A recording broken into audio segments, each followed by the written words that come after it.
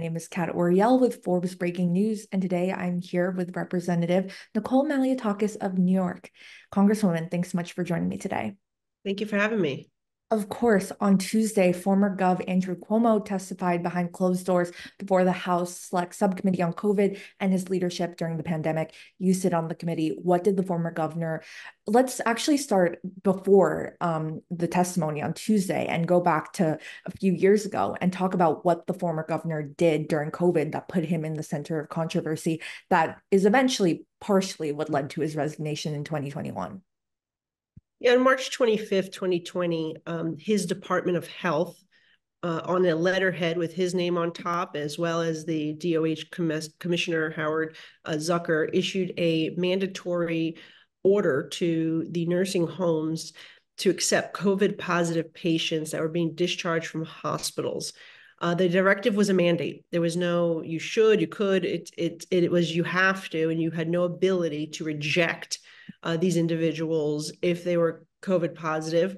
Um, and furthermore, it didn't take into account whether the nursing homes had the ability to care for them, whether they had the ability to separate COVID positive from negative, uh, whether they had the staffing levels, whether they had the PPE. And I remember it very clear that day because I, I remember when I heard the directive, it was shocking to me because we've always said all along that our seniors were the most vulnerable. Um, and we quickly started reaching out to the governor's office and myself, other elected officials around the state. Nursing homes were complaining to us that they were very concerned. They felt that they could not handle this task and that they had no ability to reject these patients. Um, and as a result, thousands of, of uh, senior citizens passed away because that order was kept in place for months. And one of the most troubling things about the testimony that occurred on Tuesday was that the governor claimed that he did not know anything about this directive, that he did not uh, approve it, that his health commissioner didn't approve it. Somehow, some you know mid-level staffer at the Department of Health uh, put this deadly directive through on their own without any approval, which nobody believes that that happened. Um, we find it very difficult to believe that this governor who was was a micromanager that he did 111 daily briefings with all the details of what was going on in the state all the new mandates all the all the new um, responses did not know that the, a, a directive of this magnitude went out on letterhead with his name and his commissioner's name. So I think it was one of the most shocking moments. Uh, the the refusal to admit, you know, any any type of responsibility or to show any type of remorse you know, when asked the question, would you change this directive knowing what you know today after thousands of uh, New Yorkers died? He said no. He said he would actually explain it more to nursing homes and communicate it more trying to blame the nursing homes that they didn't they didn't i guess understand that they could reject patients which was never the case that that's not what the directive says as a matter of fact it says they could not deny these patients uh, nowhere in the directive does it say whether you, you know, if you can, if you can't handle them, then we'll let us know and we'll send them somewhere else. That was never an option. Um, and so it really is contrary to what the statements at the time he was making. Um, and and I, I I think it was very sad to say that you know that this was obviously a mistake or in hindsight uh, we this shouldn't have been. He tried to blame everybody basically. Mm-hmm. Tried to be, blame everybody from you know the the nursing homes the nursing home staff members were going out at night and coming and bringing covid inside the nursing homes he claimed. He tried to blame the federal government the cdc and cms saying that their directive mirrored the federal government's um, guidelines. The federal government issued guidelines. They, these are recommendations never said you never said to mandate the nursing homes take covid positive patients. It said that they could if they had the ability to care for them and they could they could you know go about in a safe manner um, and separate them, right? But but his order was very different, and so the fact he kept pointing to the CMS and and and uh, CDC guidelines as the you know for justification was just ridiculous because the wording is different. It's just one's a mandate, one's a recommendation. Period.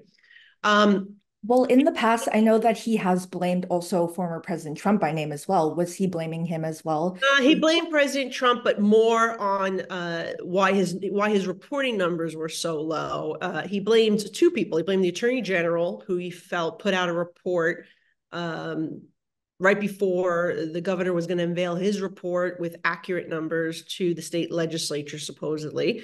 Um, and then he blamed the governor, I mean, the president, for uh, claiming that he was over inflating numbers uh, and that he should not be putting in presumed deaths in those figures. So he tried to blame everybody, uh, and, that, and, that, was I mean, he blamed the state legislature at one point. He he he blamed these federal agencies. He blamed the nursing homes. He blamed uh, so many different people, so many different people, um, except for himself. Took zero responsibility, showed zero remorse.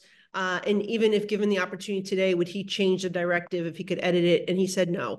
And that I thought was very unfortunate. Um, and I think it, it, you know, again, the buck stops with you when you're the governor of a state. If this happens in your administration, you should be turning the place upside down to figure out who was responsible if it is a staff member as he claims the fact that we're here thousands of seniors have died and he didn't take the time to figure out who it was that did this under his name on the stationery that's outrageous uh, and it's unacceptable and that's why we feel like he's not being truthful with our committee Mm. Well, as a viewer, it's interesting that we can feel how tense congressional oversight hearings can be, especially the COVID subcommittee hearings sometimes as well. So, can you just describe? I mean, you described him not being remorseful. What was he like when he was sitting in that chair in front of all of you? Look, I think he, he was he was cordial. He was trying to be friendly. Um, he he was trying to make conversations during the breaks. Um, but but the but the biggest thing, the biggest takeaway was that he spent most of the time pointing and deflecting.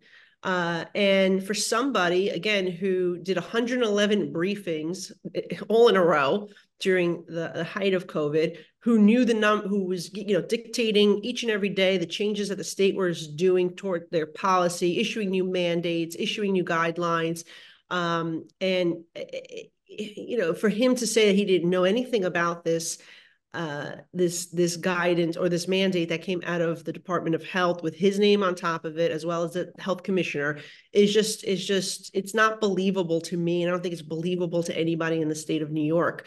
Um, but you know, I think. Uh, you know, he was there for seven hours. It was a very long time. We get, did get to ask many questions, and you know, it wasn't political. The Democrats mm. asked tough questions as well. They asked him about um, preferential treatment of family and friends to get COVID tests, uh, and why at the same time they were doing that when nursing homes were prohibited from testing our most vulnerable to protect our most vulnerable. Um, and you know, he he said that everyone that came in contact with the governor was being tested. So, you know, obviously that's more important than, you know, these senior citizens at the nursing home or anyone else who wanted access to the test. So they highlighted that they felt that that was uh, an abuse of power. Um, and it, it, was, you know, you have to make tough decisions, but you should be doing it in the mm-hmm. interest of, of the public. So they highlighted that, and they they focused a lot as well, the Democrats, on the the numbers, the reporting. How come New York's uh, numbers were so inaccurate when they were first reporting them? Uh, and it wasn't until the Attorney General's report had come out that um, we found out the truth. Now, the governor claims that this was a political hit job by the Attorney General, which I could believe, quite frankly, uh, that she was trying to get ahead of him uh, in issuing this report for political purposes, um, and that's quite possible. Uh, but I, I, you know, again, it's it's it begs the question: Was there some type of monetary incentive um, when you shifted people from a hospital setting to a nursing home setting versus a makeshift facility like the uh, U.S. Navy comfort ship that came to our shores, uh, or the Javits Center, or the South Beach Psychiatric Makeshift uh, Hospital that was set up on Staten Island. And I asked that question if the reimbursements were different. He said he did not have that information, but I think the committee has to find that information because I think it's a critical piece to maybe give us a better look as to was there a motivation, was there a monetary incentive to do this ridiculous policy uh, for the nursing homes? Um, and one of the other things was, you know, he he when we brought up the issue of these alternative facilities that were set up to take COVID positive patients, why were they not being used? Because that mandate stayed in place even after the comfort ship was in our shores and the Javits Center was set up. Governor said that they were not they were not there to take positive patients, but that's contrary to what the media reports say. I mean, New York Times Um, and other even even the Department of uh, Defense website says that the, the, comfort ship was here specifically for COVID positive patients, uh, but it wasn't being used. Neither was the Javits Center. Uh, and, and South Beach Psychiatric Center in Staten Island was hardly used as well. So there is, that is a valid question as to why those facilities were not being used. And was it because of some type of reimbursements that hospitals and nursing homes may have received? I don't know. I mean, that's, but that is something that I brought up to the committee that we need to continue to dig further and, and find the answer. Mm-hmm. That being said, are there plans for the committee to further grill him on all of these topics? And do you think that the House will take action, especially since it's on a bipartisan basis, that they want him to be held accountable? Is there going to be action on bringing him to justice? Well, look, I think that um, number one, I think it's very possible that he comes for a a public hearing under oath. Um, that's the chairman's discretion. We'll have to see what happens. Uh, this committee is only expected to last through the end of the year. Uh, it's been set up as a task force, as a, uh, a temporary committee to develop a report with recommendations on what what was done, what could be done better, the origins, the pandemic preparedness, um, making sure we fix our pharmaceutical supply chains. We're not relying on communist China uh, making sure that no more federal funds make its way to dangerous experiments overseas and facilities that are doing subpar conditions like the Wuhan lab. We already took action there, and it's because of the work of this committee that money has been stopped.